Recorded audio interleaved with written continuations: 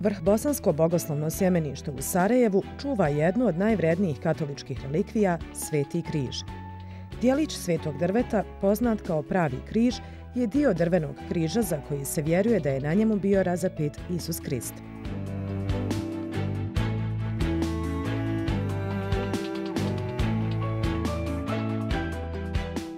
Križ na kojem je Isus umro pronašla je carica Helena, majka cara Konstantina Velikog, u Jeruzalemu 326. godine.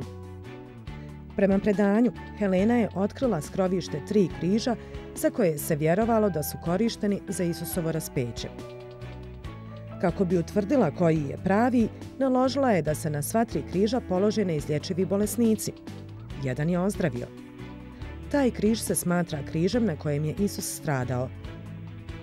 Carica Helena je dio svetog drveta ponijela u Rim.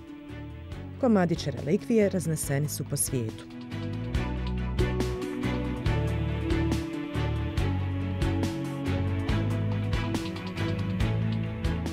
Sveti križ u Bosnu i Hercegovinu je u Sarajevsku bogosloviju stigao iz Njemačke, u vrijeme kada je Vrhbosanska nadbiskupija ponovo odkupila svoju zgradu.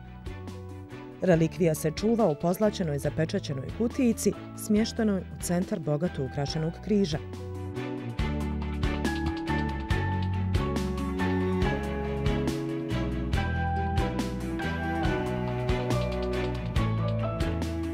Relikvija sveti ili pravi križ javno je izložena samo u posebnim vjerskim prilikama.